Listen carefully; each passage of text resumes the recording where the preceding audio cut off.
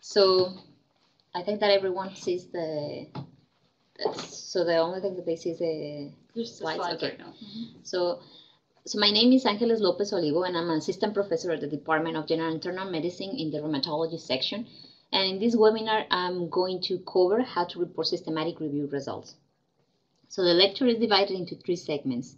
How to structure the results section of a systematic review, the recommendations for reporting a systematic review, and how to evaluate the risk of bias in systematic reviews. Um, that is for internal validity, what we normally know as methodological quality. So let's go to the next one. How you, with the arrows? Is it, uh, how do I go to the, Go to your next. like yeah, this? right there. Here, Mhm. okay, great. So systematic reviews nowadays are very popular. In fact, over the past 30 years, the number of systematic reviews published has increased exponentially. A search in PubMed, a medical search engine for the term systematic review, as a free text and filtered by date and article types, um, same systematic review categories, found that from 1956 to 1985, there were over a thousand citations categorized as systematic reviews. And from 2006 to 2015, this number increased to more than 100,000.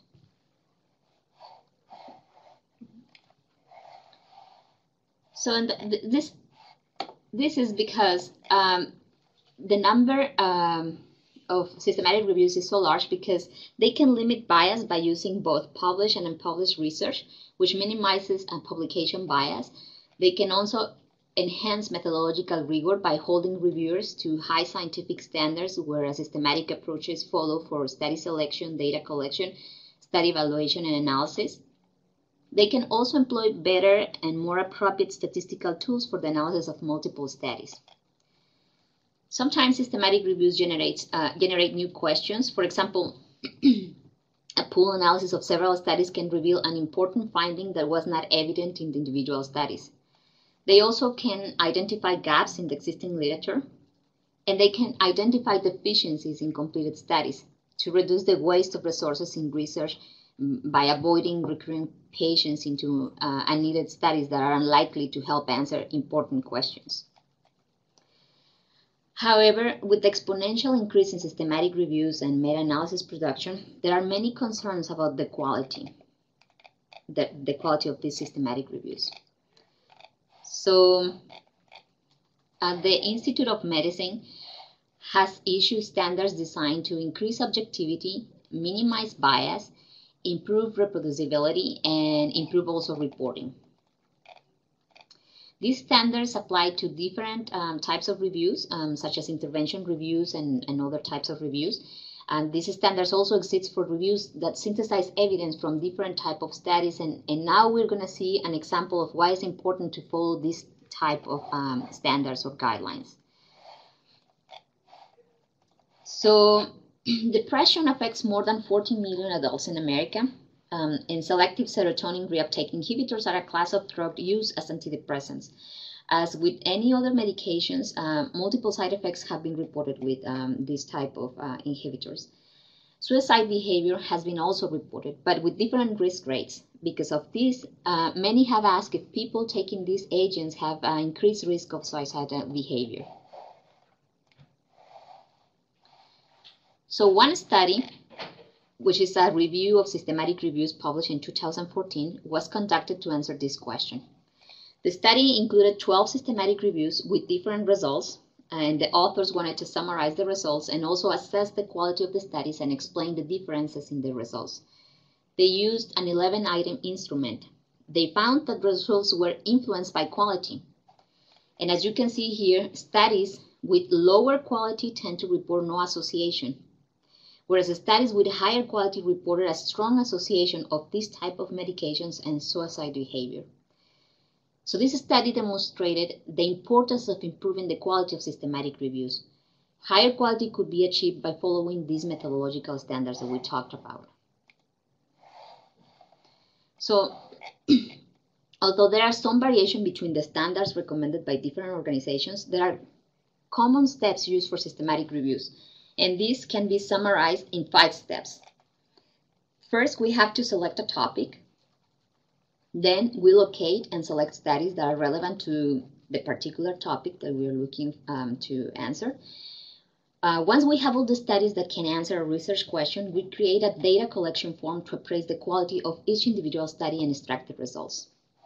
When results for all relevant outcomes to answer our question have been extracted, then we synthesize this information.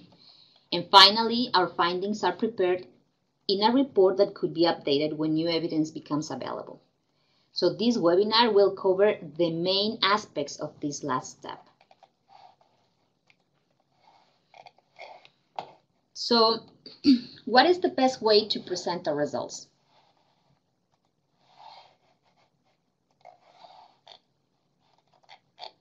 To answer this question, we first have to identify the type of synthesis that we are, uh, we are going to be reporting. By the end of this lecture, we will be able to list what are the most common approaches to synthesize the evidence and to identify the issues that we may encounter when reporting the results. So now let's talk about how to analyze the data once it has been collected. There are two ways in which data can be summarized in a qualitative or narrative manner, and with a quantitative approach to combine results of multiple studies to exponentially increase the power and improve precision. Narrative synthesis is the textual organization, description, exploration, and interpretation of study findings and the attempt to find explanations for those findings without a mathematical combination of numbers. On the contrary, meta-analysis is the mathematical combination of effect sizes across studies to obtain an overall effect size. This means that out of multiple reports of studies with contrasting results, we can provide one estimate indicating how big the effect is and if it is significant or not. And, and, in addition, we can also identify what characteristics of the studies are contributing to the variations in the results.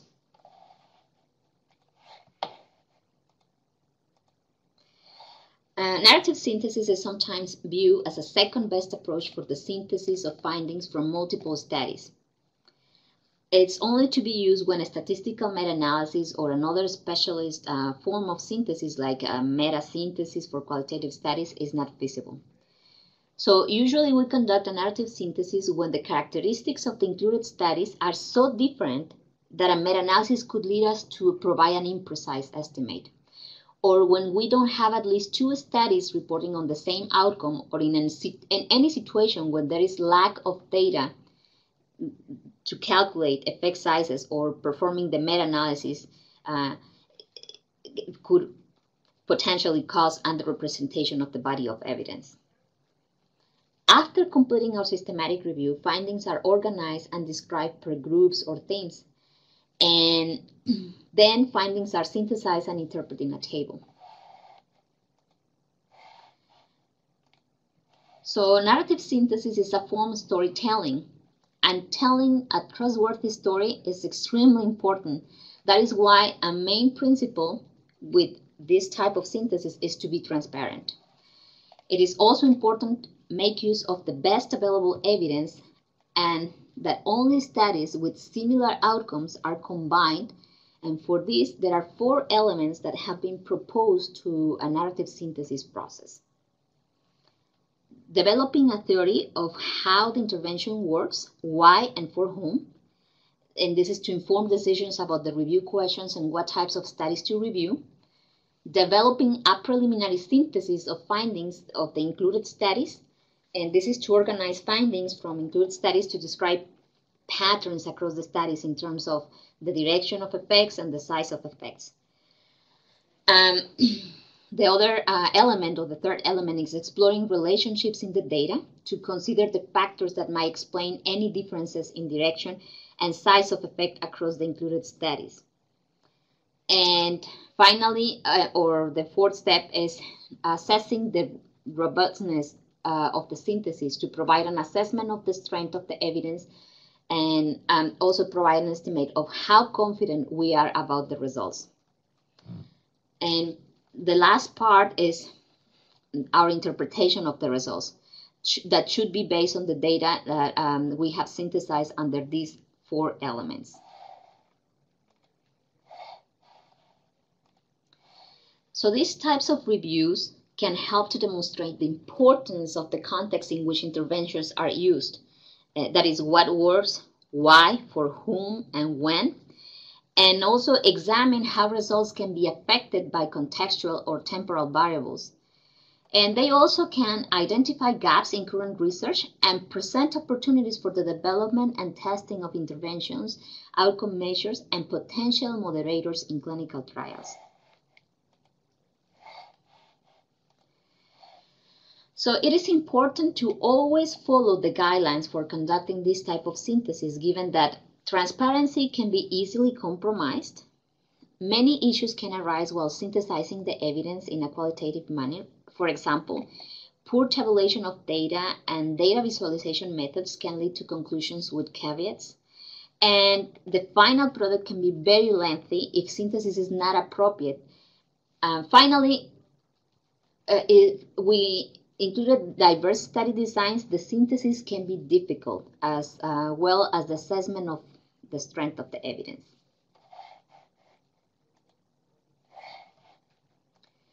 So the four elements that uh, need to be included in this type of synthesis um, are the ones that we already explained, and they are detailed in the guidance of the conduct of narrative synthesis and systematic reviews um, that was developed by Popay and collaborators. And you can see the reference in this slide.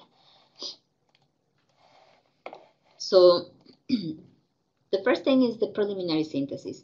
So the purpose of the preliminary synthesis is to develop an initial description of the results of included studies. Um, it is important to remember that the product of this initial process will only be preliminary rather than an end or, or a final product in itself. It will always be necessary to interrogate the preliminary synthesis to identify factors that have influenced the results reported in included studies.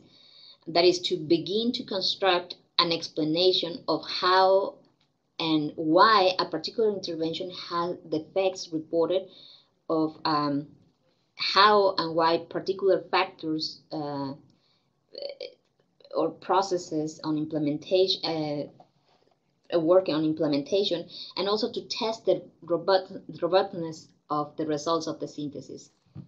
So this is the purpose of other elements on the synthesis process. Um, during the preliminary synthesis, reviewers focusing on the effects of an intervention will need to organize the results of the included studies so they are able to describe the patterns across them in terms of both the direction and size of effects reported. And you can see here um, all the uh, in the first column all the information that is uh, needed so we can compare the studies. Um, and in relation to review uh, to a review on implementation, these studies need to be organized so that patterns in the factors that are reported as impacting in some way on the implementation of an intervention can be identified across the studies. So in the second column, you can see how the findings have to be summarized in uh, what is the direction of the effect, what is the size of the effect, and is the effect uh, consistent across studies, and also finally the strength of the evidence. So there are several tools and techniques that have been described to help synthesize qualitatively the evidence. Many of these specific tools and techniques described um, in here involve visual representation, and this can be invaluable in, at all stages of the synthesis, uh, even for qualitative uh, uh, synthesis but it is important to recognize that visual representation of data is not sufficient uh, in itself as synthesis.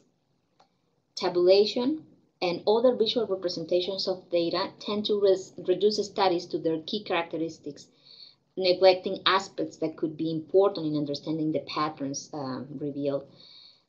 Therefore, the relationship between the visual representation of the data, that is the descriptive synthesis, and the narrative elaboration of the pattern identified, that means the interpretative synthesis, is critical to the quality of the narrative synthesis. So let's start with textual descriptions, which is what you first see here. A simple starting point in a preliminary synthesis is to produce just a descriptive paragraph on each included study. It may also be useful for recording purposes to do this for all excluded studies as well. So you know the differences between studies. This sensitizes the reviewers to the content of each study, highlighting and extracting main features, but maintains the study as a whole and also in context. The next step is to group the studies. Um, organizing the included studies into groups can also be very useful um, to, to help in the process of description and analysis and looking for patterns within and across the groups. It is important to use the review question to inform decisions about how to group the included studies. So studies can be grouped according to one or um, several combinations of, of uh, this, uh, of, uh, of these categories. Um, the type of intervention being studied, or the setting or context for the intervention. For example, if we are studying things at a school uh, or a community, uh, a clinic or an emergency room, um, the group at whom it is being directed, if we are studying um, uh, groups um, of different ages, for example, the study design, uh, randomized control trials, observationals, case reports, etc., and the nature of the results being reported, if uh, we have different outcome measures, we can group also the studies by the type of outcome uh, for, or, or, different type of factors that impact the results.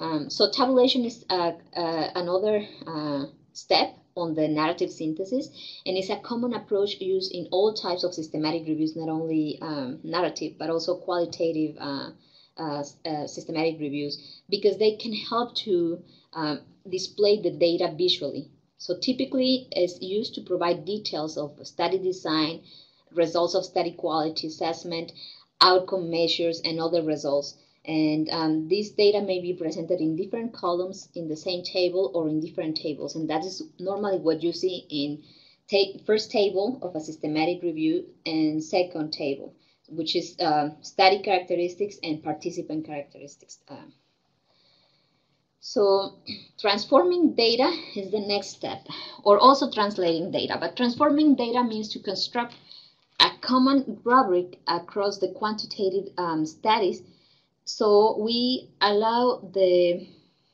the, the, the people that are reviewing uh, to develop a sort of like a summary of uh, study results and a more robust assessment of the range of effects that would be anticipated for a particular uh, intervention.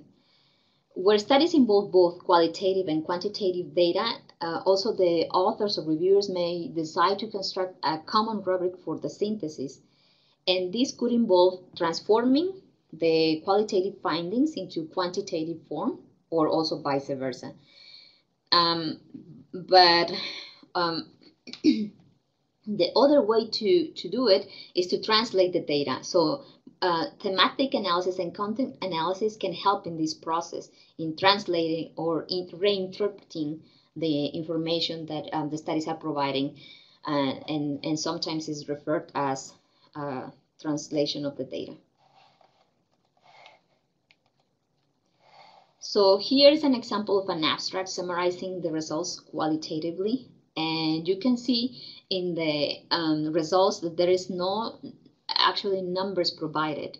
That is only information summarized in a, in a qualitative form. And that, that's how you can identify something that has been, that, that, that couldn't actually uh, include um, data or raw data from individual studies um, or that didn't, the studies didn't have enough um, data from the, same outcome so they can be pooled or combined.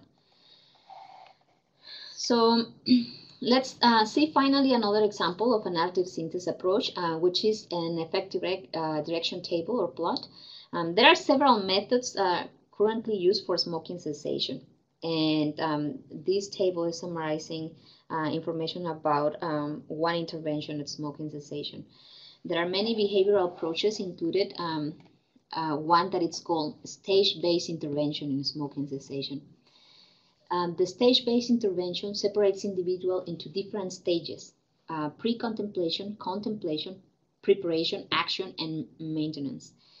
Uh, progression through the stages is sequential, and although relapse to an early stage can occur, stage-based models propose that interventions that take into account the current stage of the individual will be more effective and efficient than one intervention that fits all.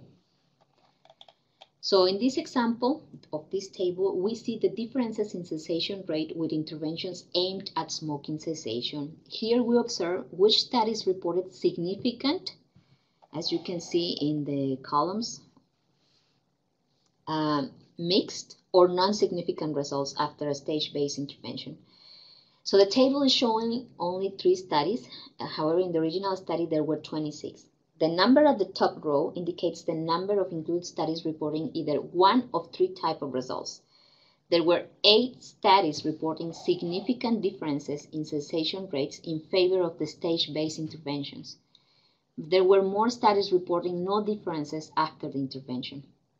So this is another way to summarize the information from um, narrative synthesis when you don't have enough data to pull the data or combine the data mathematically. So before going over the synthesis of quantitative data, let's review again these major these two major concepts that you hear that you see here in this slide. A systematic review is the application of scientific strategies that limit bias to the systematic assembly, critical appraisal, and synthesis of all relevant studies on a specific topic. Not all the systematic reviews include a meta-analysis. Because sometimes, as I've been repeatedly uh, saying, there is no sufficient data to pool or combine the results of these studies. So although you can have many studies, they don't have information on the same outcome, so you can combine mathematically the data on one outcome. Meta-analysis on the on the contrary, or not the contrary, but meta-analysis is a different concept, which is just a mathematical approach to combine and summarize the results of several studies reporting data on the same outcome. So it is just a mathematical approach.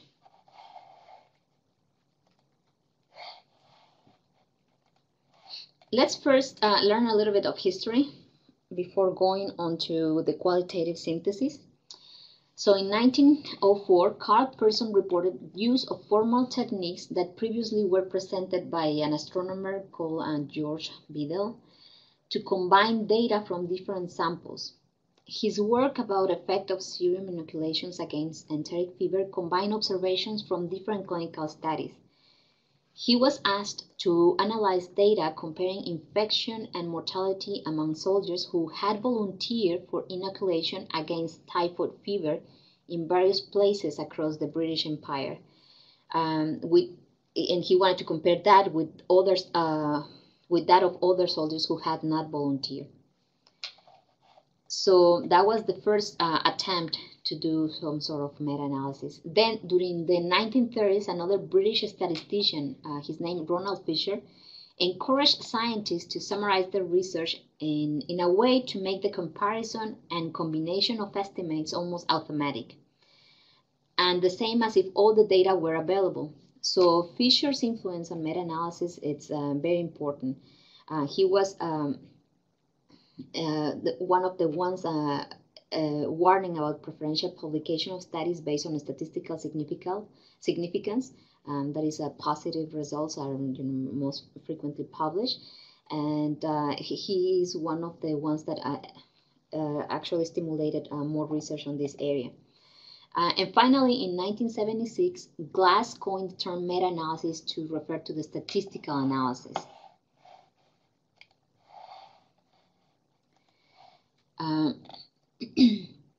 so as we said, a statistical analysis refers to, uh, to a large, uh, I'm sorry, meta-analysis is a statistical analysis uh, referring to summarize of a large collection of analysis, um, uh, summarizing, I'm sorry, a large collection of data uh, of different studies.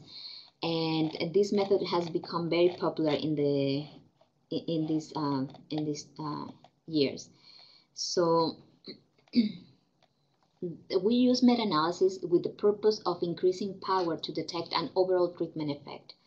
And this involves estimation of the degree of benefit associated with a particular study treatment and uh, the assessment of the amount of variability, and which we also call heterogeneity between studies, or, or controversies arising from conflict um, claims.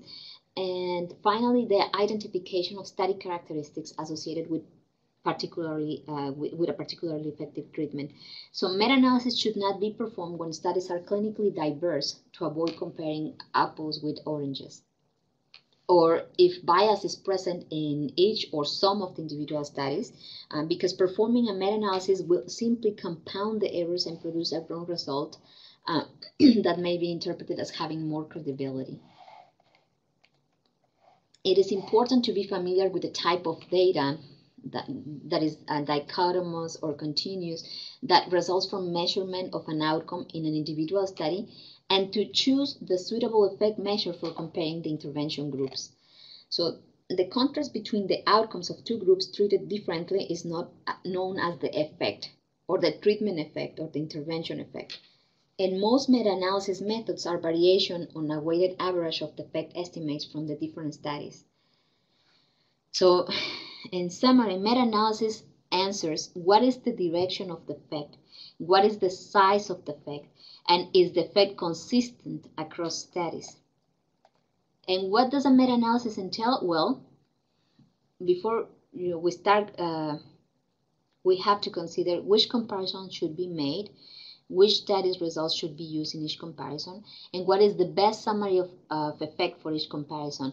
And uh, we can see that and, and um, meta-analysis depicted by a point estimate and a 95% confidence interval. And also, um, we answer the question, are the results of studies similar within each, co each comparison? In a meta-analysis, we also see this depicted um, as the statistical test for heterogeneity, and it, it also includes a p-value. And the other question that we answer is how reliable are those summaries? So in, in a meta-analysis, this is depicted by sensitivity or subgroup analysis and investigation of publication bias. So all this is what you will see in a meta-analysis or qualitative synthesis. Uh, then we have um, the forest plot, which uh, you can see here. So most results of meta-analysis are commonly presented using forest plots. And these graphical uh, representations show the information from the individual studies that were into meta-analysis. And they show the amount of variation between the studies and the estimate of their overall result. With this picture, you can see why they are called forest plots. If we were um, to rotate 90 degrees to the right um, this picture, we can see how the plots resemble the trees in the picture. And this is an example of a quantitative analysis. Now here in the results section, you can see numbers. So you can see the combined estimate. Um, now, uh, let's talk about our question. Let's continue with what is the best way to present our results. So there are standards to report the results of systematic reviews, and this section will cover that. And this is helpful not only to present your own results, but this is also helpful when you are going through the peer review process. If uh, you have been asked to review a systematic review, uh, you can also check that the report includes all the items that we will discuss, uh, discuss here. So At the end of this section, we will be able to summarize the methods for reporting and also to uh, updating the systematic reviews and explain the PRISMA statement. An evidence table is a key tool in the presentation of evidence and also the corresponding results of this evidence. So Evidence tables are a method for presenting the quality of the available evidence, the judgments that bear on the quality rating, and the effects of alternative management strategies on the outcomes of interest. The summary of findings tables provide a summary of findings for each of the included outcomes and the quality of evidence rating for each outcome in a very accessible format without the, um, the details of the judgments about the quality of evidence. Summary findings tables provide a concise summary of the key information that is needed by someone making a decision and in context of a guideline, uh, which uh, it in a in, I'm sorry in the context of a guidance it can provide a summary of the key information that underlines the recommendation. So as you can see, this is the, the most friendly way to, to provide the results of your systematic, the, of your meta-analysis or, or um, the systematic review. So the standard format of the summary findings table includes a list of outcomes, um, the assumed risk, which is a measure of the typical burden of the outcomes, um, that is the illustrative risk of also called baseline risk, uh, or the control group risk. And then the corresponding risk, which is a measure of the burden of the outcome after the intervention is applied. And it is the risk of an outcome in the treated people based on the relative magnitude of an effect and the assume or baseline risk or the control risk. Um, so the relative effect is also presented and for dichotomous outcomes um, this is a, the relative measure uh, will provide um, risk ratio odds ratio or hazard ratio and um, the number of participants and the number of studies is also provided and their design um, we also present the rating of the overall quality of evidence for each outcome which it's it could be different from each outcome and we provide footnotes or explanations where we can also give the absolute treatment benefit or um, the, the risk difference, etc. Uh, even the number needed to treat can be in this section. So the GRADE approach is a system for rating the quality of a body of evidence in systematic reviews and other evidence synthesis. Um, even for guidelines, it is used uh, and it helps to create the recommendations uh, in general in healthcare. So GRADE offers a transparent and structured process for developing and presenting the evidence summaries and for carrying out steps involving developing the recommendations. So as you remember in the previous slide, we saw the summary findings table that includes also the, the quality of the evidence.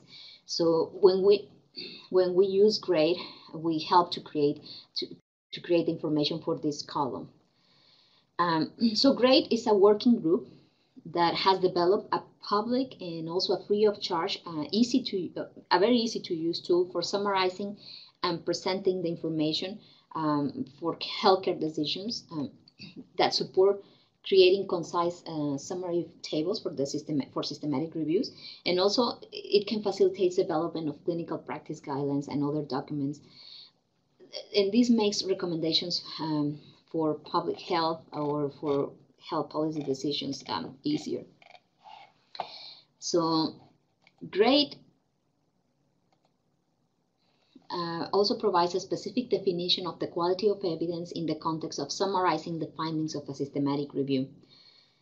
Um, the quality of evidence reflects the extent to which we are confident that an estimate of the effect is correct. So basically we're saying, so this is the confidence that we have in our results. And it can be uh, downloaded according to several things, but um, the quality of the evidence is rated for each outcome across study. Um, so it's important to remember this is for the quality of evidence is given for each outcome, not uh, not for the overall results of the of the study, but for every outcome that we are giving. So, so for example, let's say the quality of evidence may differ from one outcome to another within a single study. In a, in a series of unblinded randomized controlled trial measuring both the occurrence of a stroke and all-cause mortality, it's, uh, if we were measuring these two uh, outcomes, it is possible that the stroke, which is much more vulnerable, uh, vulnerable, I'm sorry, to bias judgment, will be rated down for risk of bias, uh, well, mortality or all-cause mortality may, may not. So similarly, in a series of studies in which very few patients are lost to follow up for the outcome of death and very many for the outcome of quality of life is likely to result in judgment of lower quality for the for the quality of life outcome. So then we have also we can have problems with indirectness that may lead to rating down the quality for one outcome and not for another. Uh, for example, fracture rates are measured using a surrogate, uh, which is the bone mineral density but side effects are measured directly. So these things are taken into account when rating the evidence. So the factors that can reduce the quality of evidence include what we have listed here. So limitations in the study design and execution may bias the estimate of the treatment effect. For example, in randomized controlled trials, lack of allocation concealment, lack of blinding, incomplete accounting of patients and outcome events, and selecting outcome reporting can, can, can uh, downgrade the evidence. And that's pertaining to risk of bias. And then inconsistency of result, that is uh, the unexplained heterogeneity of results. For example, if we have uh, wide variance of point estimates across studies, uh, minimal or not overlap of confidence intervals that can downgrade the quality of the evidence.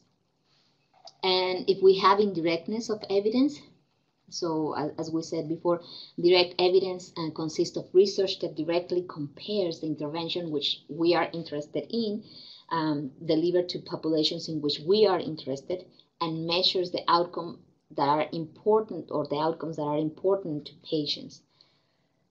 So results are imprecise when studies include relatively few patients and few events, and you know for that reason they have a wide confidence interval around the estimate of the effect. So finally, publication bias is a systematic underestimation or an overestimation of the underlying beneficial or harmful effect due to the selective publication of studies. Confidence in the combined estimates of effects from a systematic review can be reduced um, when publication bias is suspected, even when the included studies themselves have a low risk of bias.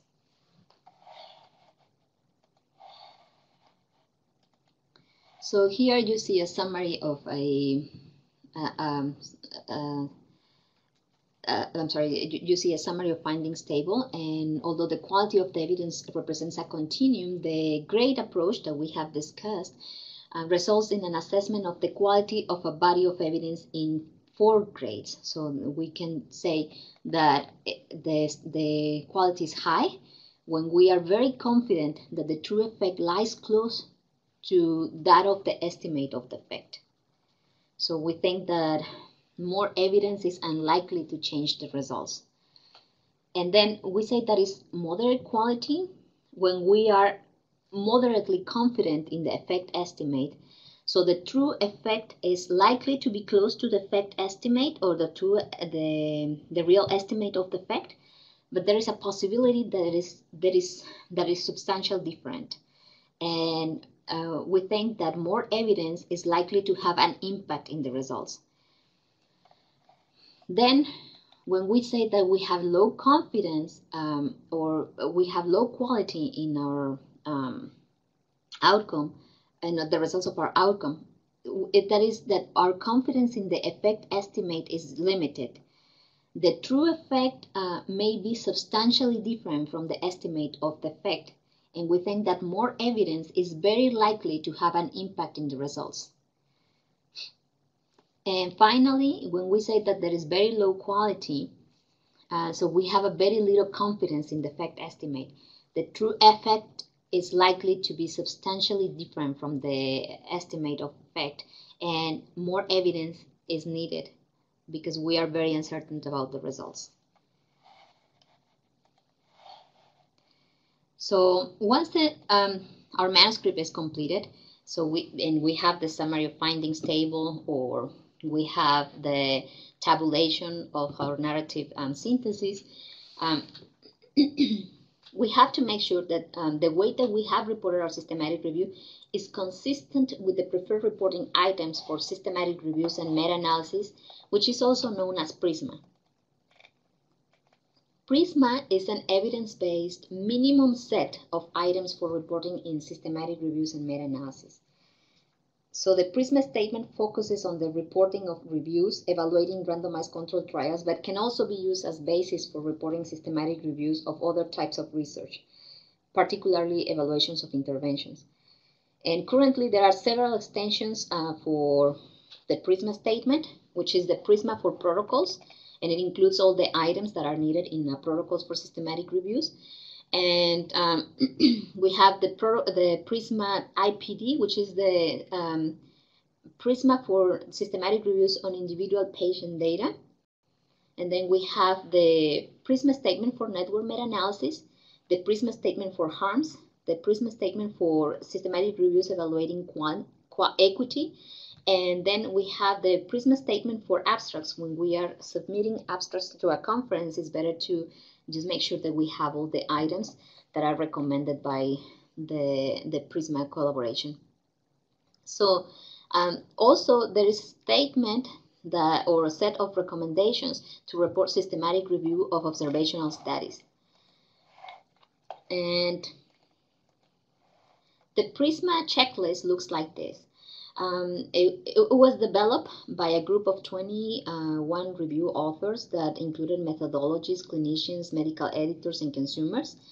And it is currently endorsed by almost all major organizations and most journals required to complete a PRISMA checklist when submitting a systematic review. So the, the Prisma uh, items, uh, what they do is to focus on ways in which authors can ensure the transparent and complete reporting of systematic reviews and meta-analysis. The, the thing is it does not address directly or in a detailed manner the conduct of systematic reviews. Um, so the Prisma statement is not for conducting systematic reviews. That Those are the standards that we already mentioned of um, the Institute of Medicine. Uh, for for the reporting of the systematic review is the PRISMA statement. Um, and there are also other guides available for conducting systematic reviews, like the Cochrane collaboration. NICE also have their own guidelines, and AHRQ also have uh, guidelines for conducting systematic reviews. But PRISMA is for reporting systematic reviews. And um, the list of items is presented uh, numerically from 1 to 27, so there are 27 items. Um, but um, the authors don't need to address items in any particular order in the reports. Uh, what is important is that information for each item is given somewhere within the report. And this is um, the last part. As, as you can see, um, they even include information about how to uh, include information in discussion and, um, and, and the parts that um, the results section needs to, to, to, to have. And they also have a flow, uh, flow diagram, which needs to be included, and um, most journals require this flow diagram when submitting a systematic review. So, so finally, there are also guidelines on when is best to update existing systematic reviews, because uh, uh, as you can see, the amount of uh, systematic reviews that have been published uh, in the last 30 years is increasing and, and it's likely uh, going to increase even more. Uh, so th there, there are ways to know when um, the already existing uh, systematic reviews can help us. And the Agency for Healthcare Research and Quality has developed some recommendations with eight areas to be considered. so First, uh, we have to locate uh, the, an existing review and uh, a defined and reproducible approach to efficiently identify existing systematic reviews for possible use in conducting a newly proposed systematic review, uh, which includes updates, have to be delineated. And then um, we have to assess the relevance, so there, there should be methods by which existing systematic reviews identify in step uh, in, in locating ex ex the existing systematic review and the step or the step one of, of um, this can be evaluated as to whether there are similar they they the systematic reviews are similar enough to to the new proposed uh, review to obey to to obviate the need for conducting a, a, a new systematic review or or to obviate several steps of the new systematic review um, so that we have to check the relevance. Um, and um, we have to consider how well the existing uh, reviews uh, have answered the research questions that we are interested in, the inclusion and exclusion criteria for uh, population interventions, comparators, outcomes, settings, and also the study design that they have to match those of the new systematic review that we are proposing and also the literature searches that they have uh, included something that is uh, similar to what we're proposing. Uh, use almost relevant systematic review when selecting, developing, or refining questions and providing context for a newly proposed systematic reviews and scan references to, to check new res, uh, search results are, are, are very important in this step.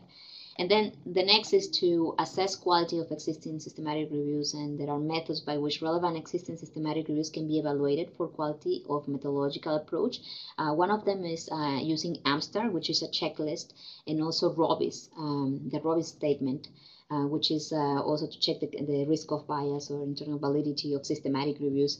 Um, so they can give us uh, the, the sort of like the quality uh, measure for, for the, the previous systematic reviews. And then we have to determine appropriate use and incorporate existing systematic reviews. So the use of existing systematic reviews may include using the existing systematic reviews listing of included studies as quality check for the literature search and screening strategy and um, also uh, using the existing systematic review to completely or partially provide the body of included studies for one or more key questions in the new review. And then using the data abstraction risk of bias assessment and or analysis from the previous uh, systematic reviews for one or more questions in the new review or using the existing systematic reviews um, including the conclusions to fully or partially answer one or more questions. So in each step, uh, we can determine if the information provided in the previous review is appropriate for the new review.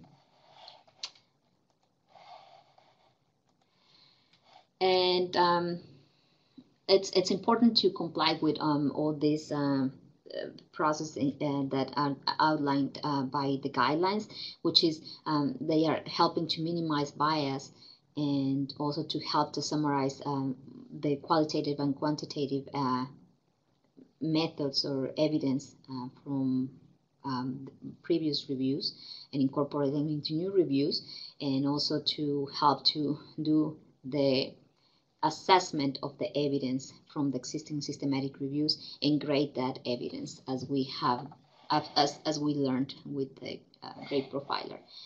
So Now let's talk about um, risk of bias um, briefly. So we have a few minutes um, to check um, the criteria for quality of systematic review, which is um, one would be the ROBIS um, checklist and the AMSTAR checklist.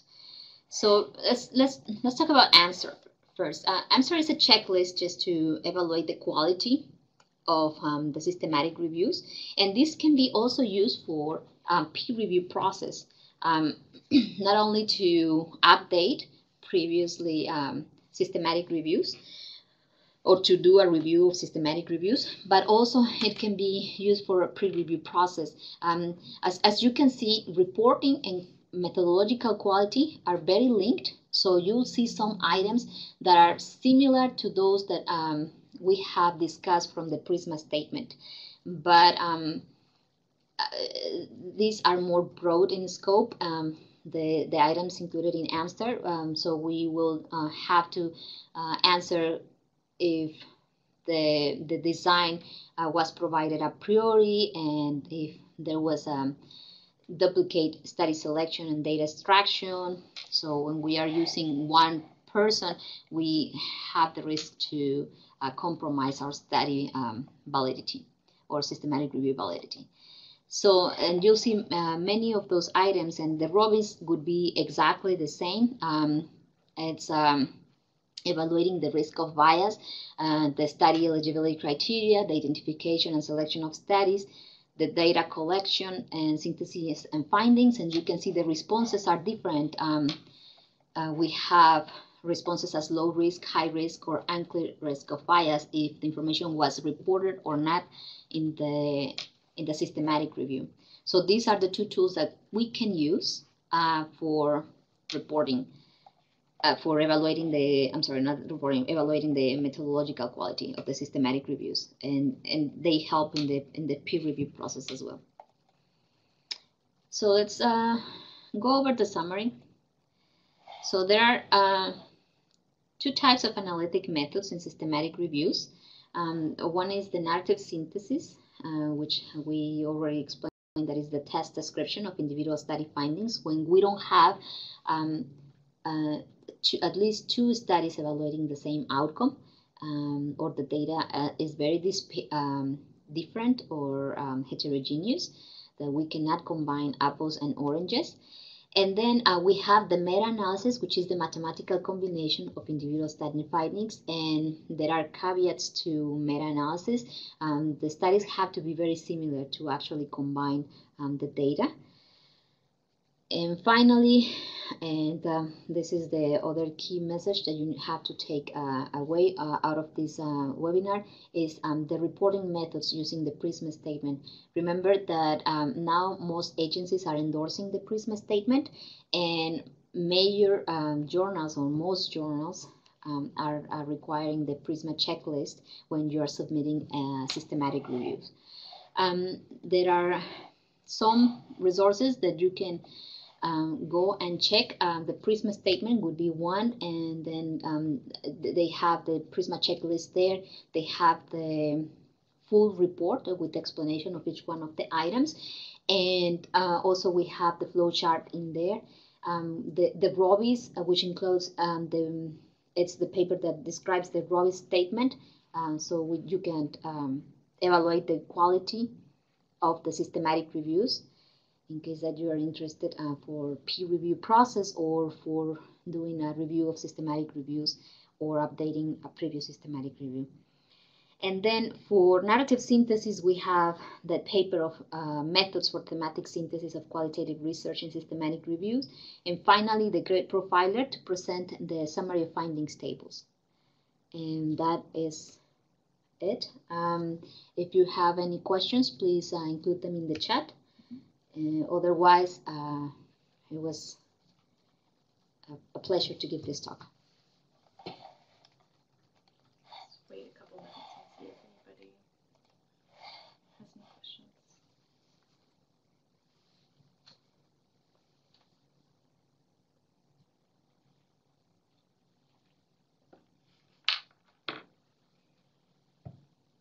Okay, it seems like there are no questions. Yeah. No. Thank, oh, thank you.